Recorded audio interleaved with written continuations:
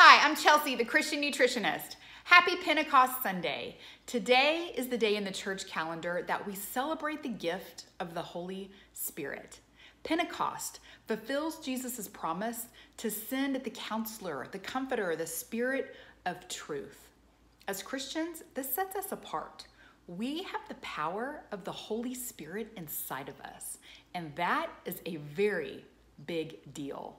We have the honor of His constant presence and the ability to share it with others. One day I was filling my essential oil diffuser and I was like, that's it. I want to be like a diffuser of the Holy Spirit. I want love and joy and peace to seep out of me like a fine mist and envelop everybody in my path.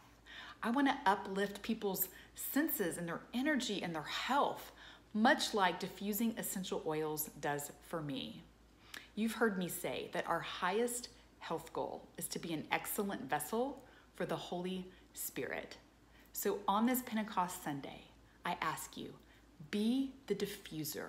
Allow others to soak up his presence through you. I hope you enjoyed this sermon on the couch. Have a healthy and blessed week.